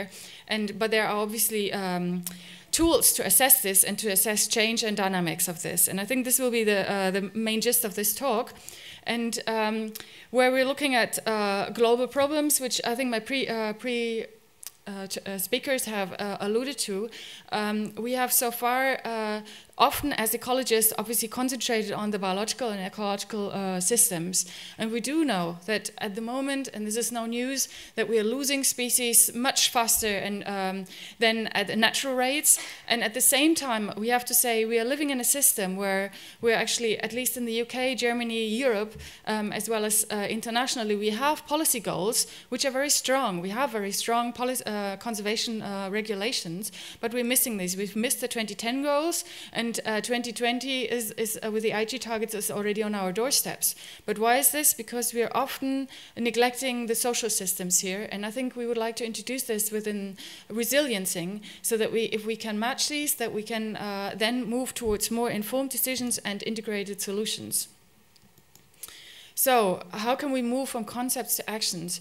So, how can we move from the question, what do you mean by resilience, to what do you want to use this concept for? And maybe this can uh, bring us uh, further. And this, uh, the analogy which uh, we discussed also last night was physics don't necessarily tell us what mass, energy, and so on is, but really use this uh, concepts to formulate uh, theories on. Um, and testable theories of, to allow for actions um, to, to move forward.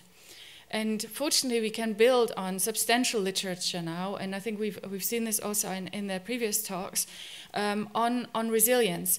And now the task is really how can we translate these heuristic principles into action and into practice, and how to operationalize this? And therefore, um, Volker and Hanna have coined the term resilience-ing, which obviously the ing is something about doing, about putting it into practice. And uh, this uh, came out of long discussions with colleagues um, uh, at the Helmholtz Center of uh, Environment Research and others towards uh, looking at how the concept of resiliency um, uh, could be used across and looked at across different time horizons and decision contexts. And I think these two, two variables are important here. So, what are the main reasons for reducing this resiliency, which obviously caused, caused some con controversies controversy also in the group, to really move from a vaguely defined property, the resilience, to actions and decisions that are required to uh, deliver or ensure the sustained capacity of ecosystems uh, to deliver ecosystem services. I said ecosystem services. This can be controversial towards defining what we really want to ecosystems, uh, what ecosystem features we mean. Is it biodiversity? Is it ecosystem functions? Or is it services? If we are looking at ecosystem services, these are obviously a, a matter of societal choice, and therefore depending on the uh, societal context and the policy context, and it brings some normativity in there as well. Not necessarily that the science is normative, but um, that obviously there are different contexts to be decided, and these will impact also on the resilience. And then secondly, that by defining those variables, what we're talking about, that we can identify, and, identify uh, and clarify the scales at which we're working, the decision context, the pressures, and the different time horizons. And there we uh, name three. So really, the aim is in questions, in other words, is how can resiliency help us to, uh, to move towards restoring, maintaining, or developing resilience mechanisms at all relevant uh, levels of organizations and across spatial scales, really to better understand how ecosystems are generated in socio-ecological systems, to understand how we manage them uh, in a global change, and to identify management options. So if we think about three different time horizons or di three different modes, and they don't, they're not necessarily exclusive, but they uh, relate to different time horizons, um, probably also spatial scales and decision contexts. We have reactive resiliency, which is often across uh, short time horizons, um, and they are often under high um, perceived urgency or social pressure. So, for example, a local pest outbreak or a flooding event, and resource managers have to act, or policy um, or decision makers have to act, and there are uh, short term intervention measures. These are usually uh, do more of the same or, or increase, uh, increase uh, resistance. Adjustive resiliency can happen over intermediate time horizons. So if we know that there's a trend, a continuing trend, and ecosystem service loss will happen, for example, a decline of pollinators, resource managers have the option to foster adjustment and, for example, uh, implement habitat connectivity. These two are really um, leaving the system where it is and trying to improve it, trying to make it um, yeah, trying to keep keep the same uh, um, same characteristics, um, but really it's not really questioning the uh, the system in itself. Provident resiliencing actually can uh, looks at longer time horizons and probably also greater spatial scales. Threats are often unclear or unspecific. They may be clear, like climate change, um, but not necessary to the sites, and there is no specific trigger for action. And here other measures can happen. Uh, for example, large reserve networks could be used in order to harbor certain functions which we want to use. And there I think the idea of looking at services which we want to provide, but maybe uh, compromising on the species composition can come in. This also allows for translocation of species, obviously very uh, controversial um, uh, issue with conservation managers, and to actively embrace change and manage change and proactive uh, transformation. This is a very controversial uh, discussion in conservation, um, both in conservation science as well as practice. And this is along an axis of um, time where we have obviously urgency versus uncertainty. And let me explain this now. How can we then now move to operationalizing this? And one example, for example, would be to look at uh, the system in more detail. So, for example, using uh, operating network theory um, for resiliency. And here we need a mechanistic understanding of linkages between biodiversity, ecosystem functions, and uh, uh, ecosystem service and socio-ecological systems. I won't go into the detail with this, but when we started this in an sDiv working group, um, we thought about first uh, about the conventional ecosystem service cascade, moving from properties to functions to capacities of uh, flow and benefits and values. These lead to societal responsible and driving forces. But somehow we got muddled up. I mean, there, there are lots of networks where interact, but then And uh, these are complex systems which are linear and nonlinear. They are obviously coupled and they're dynamic. And these need to be understood. But actually, we are leaving sort of, we are always, this is a um, approach which we're often taking, but then we stop at some point because we can't get further. And then we thought, no, actually, we have to really we have to really be uh, look at the decision context first and the actions, and from there on, at the same time, uh, uh, look at the systems, the ecological, the social, and the driver systems, in order then to arrive at um, at services. And uh, there, if we look at the systems or the species, how they relate to ecosystem services, for example, water quality and coastal protection, there may be some relationships which are quite clear. If we look at social systems, there can be quite um, uh, can be very different dynamics there. And this allows us to, uh, to go into, uh, to look at models. These can start with very simple models, and these should not be disclaimed, so influence diagrams, to static network analyses, to more dynamic system models. And I think here we should also uh, um, be brave to learn also from the social sciences to look at the social network analysis, and they can obviously learn a lot from food web um, ecology as well. And uh, what is important here is if we look at the system dynamics, that we look at the network topology and then um, nature and form of perturbation and where impact um, uh, is happening and and what uh, or the impact depends on where some what is disturbed. And if we here look at both the ecological systems as well as the social systems, we can identify nodes and interactions. And nodes in the ecological systems could be ecological entities like species, or in the social systems, obviously actors, people, organizations, but also policies. Um, and ecosystem services could be seen as natural capital stocks. If we look at the interactions, they obviously in food webs, they, they may be traffic, but in social systems, this can be flow of information or resources, um, but also friendships, and these need to be understood. So if these are perturbed, this can uh, um, actually uh, uh, threaten the resilience of a system. And here we also introduce ecosystem services as flows, as information flows. And as you can see, this is a relationship to physics again. Is ecosystem service a particle or a wave? Um, and we dodge this issue in this paper at least. So, uh, but it is important to understand the systems dynamics in order to, uh, to arrive at actions. And now with my last two slides, I would just like to come to a practical example. This is some work which we did where we actually uh, surveyed conservation managers across Europe and asked them, well, how do you actually deal with climate change? How do you, what are, how is this implemented in your goals? And how is this implemented in your management actions? Um, and I'll just show one slide. Um, and so most of the managers actually said, well, the main thing which we're doing is we maintain existing species and we maintain the current ecosystem. This is obviously driven by policy. This is designation of protected areas demands you to do this. You cannot actually change necessarily species composition. It's actually not. Um, yeah, it's it would be in some cases against the laws. It was very nice to see that many, uh, so 68% of the managers also said that they are looking into increasing ecological connectivity both within sites, so within larger, for example, um, uh, uh, national national parks.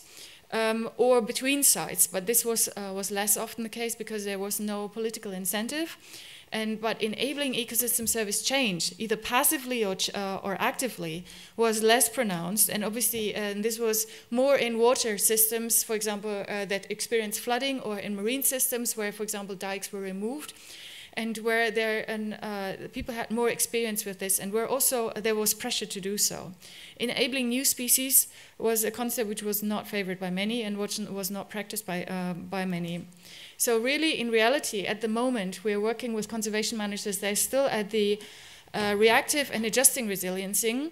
There's only very timid approaches, or I wouldn't say timid approaches. This is also fostered by the policies um, that provident resiliency is often not possible. And uh, here we can see how, how this could work, and by analyzing the system, we can hopefully also uh, arrive at management options for this. So the thing we need is a plan and I would just like to uh, briefly uh, uh, outline a stepwise approach how we could uh, move towards resiliency. So first of all, identify the resiliency decision context.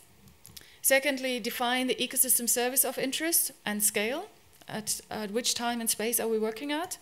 At the same time, uh, link ecosystem services within the ecological network, so ecosystem services to species and ecosystem functions, but also look at the socioeconomic network and link beneficiaries and users of ecosystem services um, or ecosystem service managers within the network.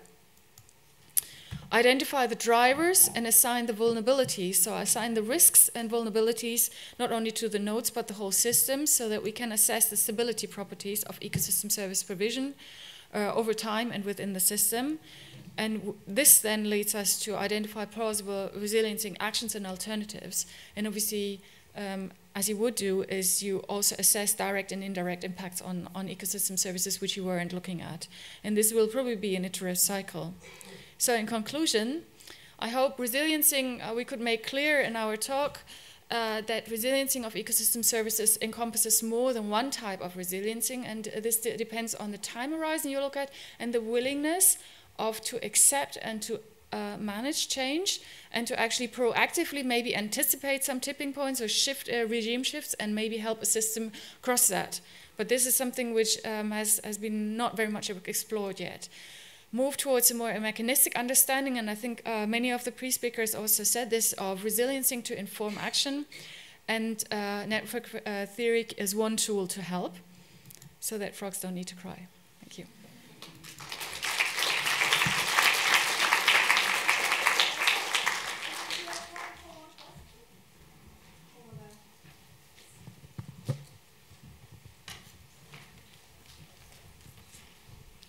Yeah, thanks a lot for a very interesting talk. I just have two questions. First one, in when you talk about ecosystem services, did you actually uh, look at different type of services? I mean, provisioning services or cultural services. So, or just general. And then I was wondering if you are looking at this resiliency in case studies where you have indigenous and local knowledge, ILK, because uh, in those indigenous and local what knowledge, okay, ILK yeah. mm -hmm. cases. Yeah. Uh, so that's all. Thanks.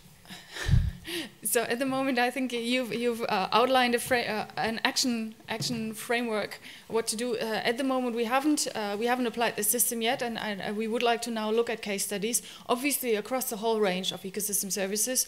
I think with provisioning services is um, mostly easy uh, or easier because we have got more data. I think there were some really nice examples of, of regulating services, and I think we do need to work uh, with cultural um, services. As you say. Um, I think, and this relates to the IPBES uh, discussions, obviously, with uh, indigenous and local knowledge.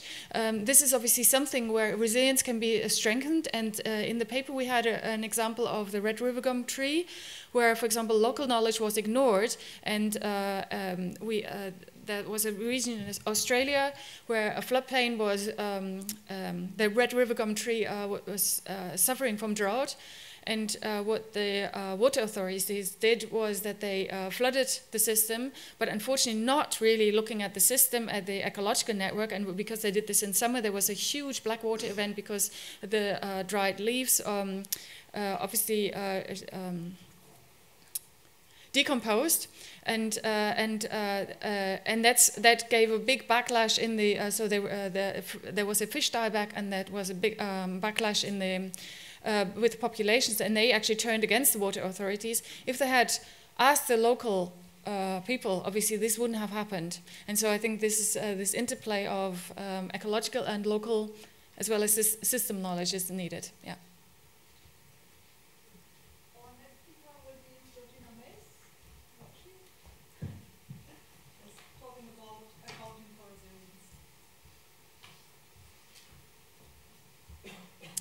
So thank you very much, um, Hanna and Volker, for inviting me to speak in this really interesting symposium. So yes, I'm going to talk about uh, resilience at large scales, and I, and I do mean large scales compared to uh, what many of the other speakers have talked about. So I'm going to talk about some work at um, national scale and actually at international scale.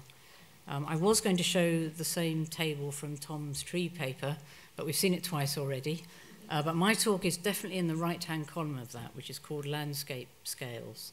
Um, and I'm looking at whole ecosystems um, and landscape connectivity in terms of resilience. So this comes from Tom's paper two, which we've also seen, and this is what I'm going to use as an operational definition of resilience, uh, recognizing this problem that the word has very many different meanings in different contexts. Uh, in the second half of my talk, I'm going to use a different definition because uh, that's looking at the human development agenda. But um, I think this is a useful way to bring together these ideas that it's about disturbance, which may be a press or pulse disturbance, and in my case, these are mostly uh, large-scale, long-term press disturbances, uh, although in the second half I'll talk about some pulse disturbance. And then there are two components to resilience, um, the uh, resistance and the recovery, but the really important thing from my point of view is uh, the amount of time that the system is uh, in this undesirable state that there's some required um, ecosystem function, or actually I'm going to talk more about ecosystem services. There's some required level, and what you want to avoid is being uh, in that red area where that uh, level of ecosystem functional service is not being reliably delivered. And my conceptual framework is this very simple one that we have um, ecosystems, and there are ecosystem functions going on within those ecosystems, and people manage and uh, add uh, various kinds of nutrients and um, uh, management practices to those ecosystems in order to deliver certain kinds of services. And the reason they do that is because of uh, the need for some benefits in wider society. So I'm going to start by thinking more about the benefits here. I, I may be talking about resiliencing, having listened to Aletta, I think. Um, so I'm going to start with the benefits, what it is that we want to what we require, what it is that we want to maintain, and then think about what you've got to do within the ecosystem to maintain that ecosystem at the level at which those benefits are being sustainably delivered. And of course, one of the really complicated things is that when you get to these benefits, it's not just about ecosystems, it's about all sorts of other things that people do. Um, it requires other sorts of built and human capital of um, having fields and roads and um, agricultural vehicles and chemicals and processing plants and supermarkets and so on. But um, in, in principle, what we're talking about is the ecosystem part of those um, benefits from ecosystem services. So in the first example, I'm going to think about uh, what might be the uh, level of provision of ecosystem functions that puts these benefits at risk. What is it that you might do to ecosystems that would take them to a point at which they weren't uh, sustainably and reliably delivering these benefits? And that may be because of some kind of ongoing disturbance. Uh, it could be climate change, it could be land use change, it could be the ongoing addition of um, nutrients or land management or something. And this project was um, something I did with the Natural Capital Committee in the UK to develop a simple risk register for natural capital in the, in the UK.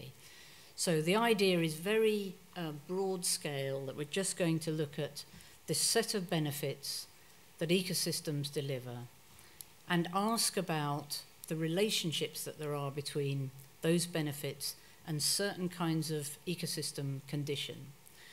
And we use the UK's land use classes, habitat classification as a, as a first step. And for each um, land use class or habitat type, we classified that relationship between benefits and eco ecosystem condition uh, depending on the quantity, the quality, and the spatial configuration.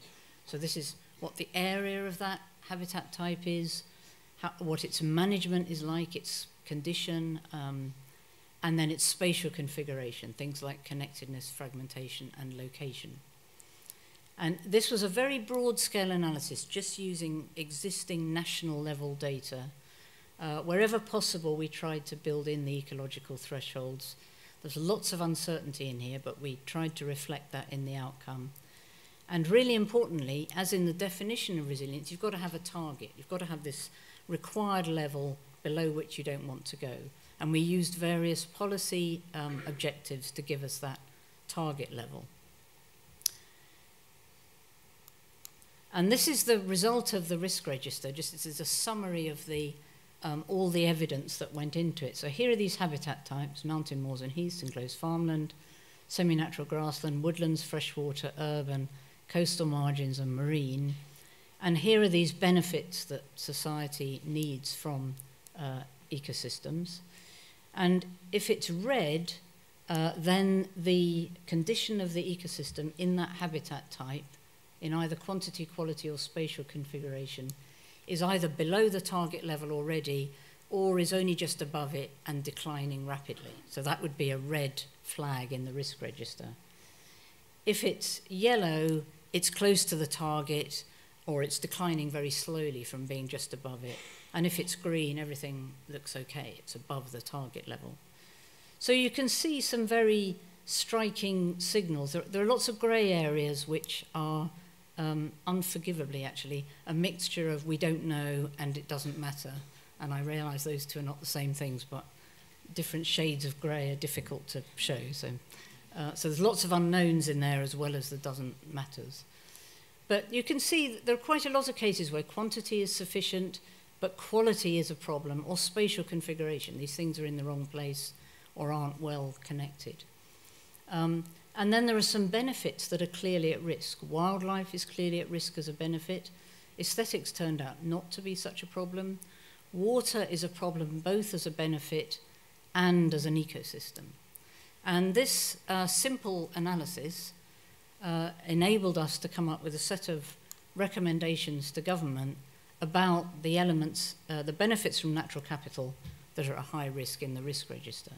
So this is clean water, wildlife, carbon storage, hazard protection, recreation, clean air, and fisheries. And for each of those, we could come up with a management recommendation. So that's one example of using um, resilience type thinking at a national scale, assuming that you've got these target levels. Now, my second example is very different um, and takes ecology into the development and global change literature.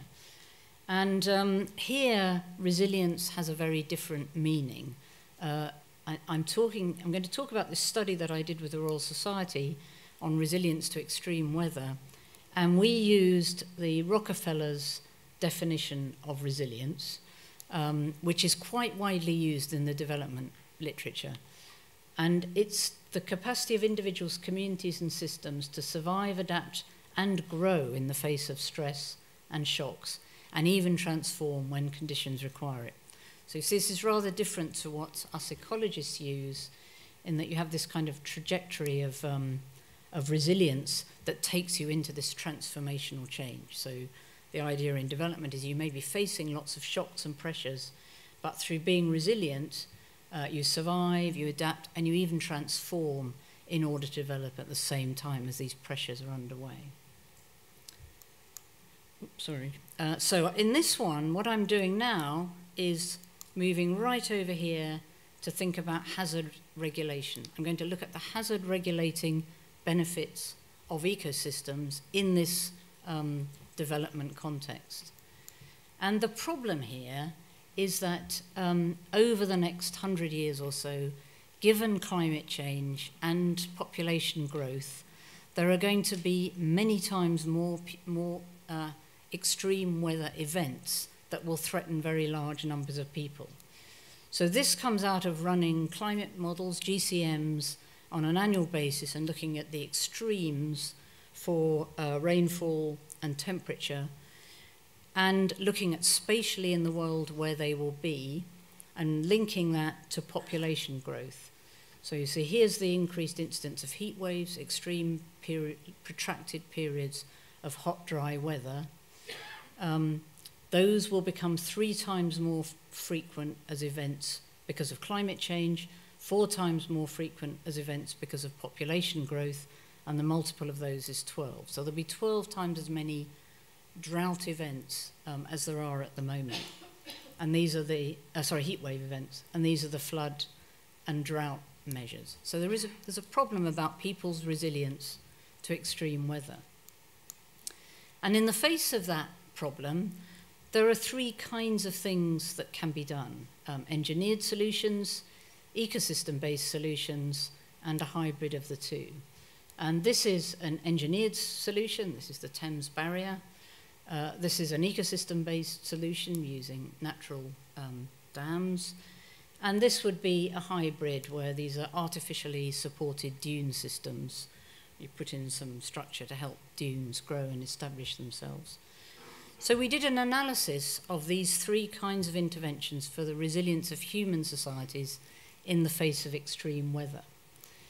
And we did this by, um, it turned out to be very difficult to get the data. Not the metrics are very complicated, um, and many people are measuring different things all the time. So we had to use a rather informal um, scoring and expert-based assessment, which is what I'm showing you here.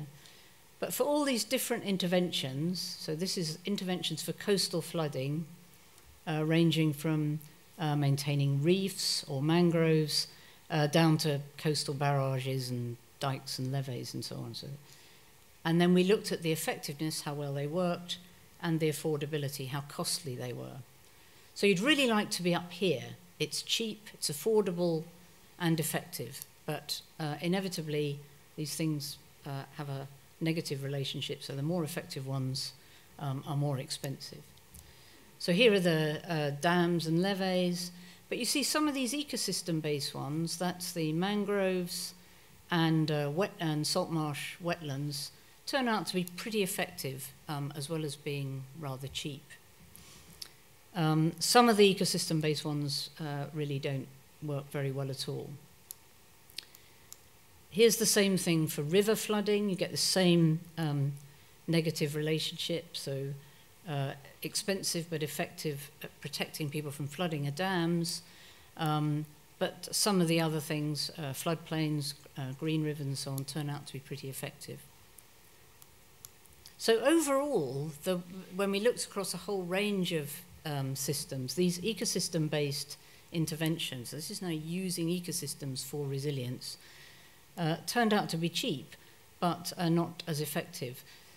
In fact, in the case of um, persistent and um, difficult to deal with pressures, this effectiveness measure becomes rather difficult because dams may be effective until they break. Um, and then you have this catastrophic um, endpoint of the, um, of the environmental pressures.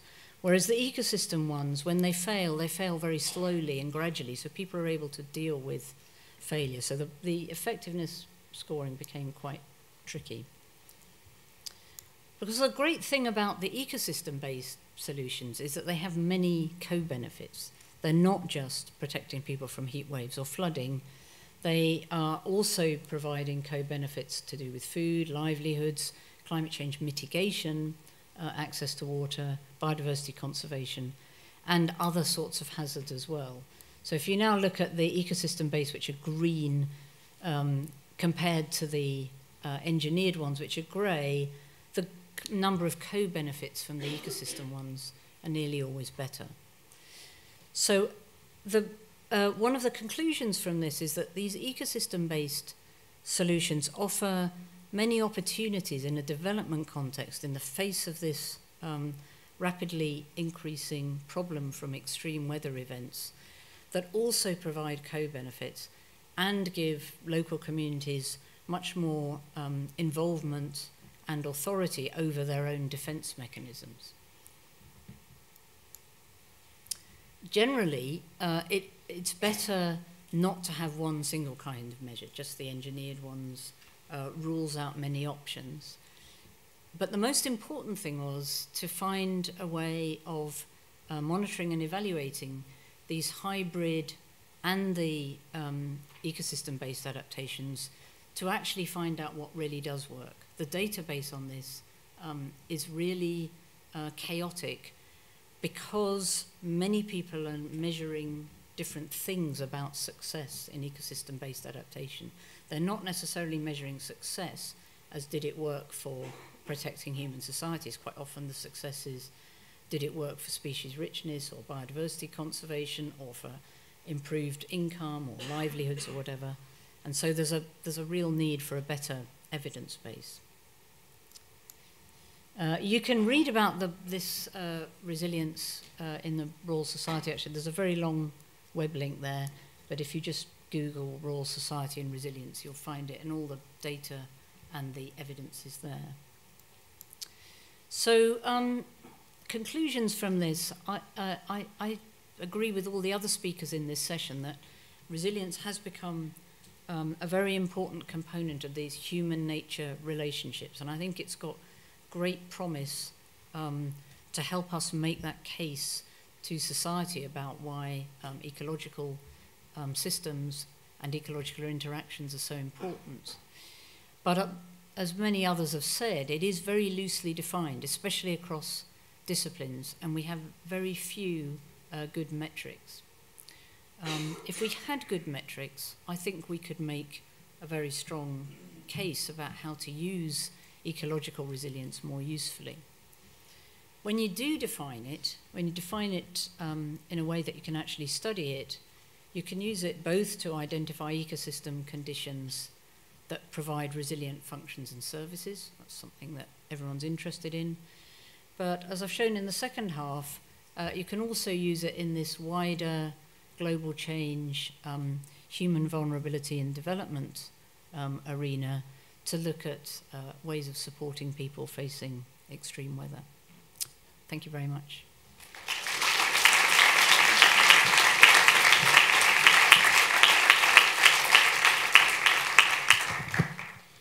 Thank you very much, Georgina. We have time for one question. Thank you. That was an excellent talk. My question spans the last two talks. Given the importance in the human nature relationship of capitals, you, you started with, with natural capital, and Aletta was talking about links and, and networks and flows. Is it time and are there benefits of moving to a multi-capital approach where we're considering the social capital, for example, of resilience and the human capital of knowledge, be it local, be it international? And yet we seem to be focusing mostly on natural capital, which has always puzzled me.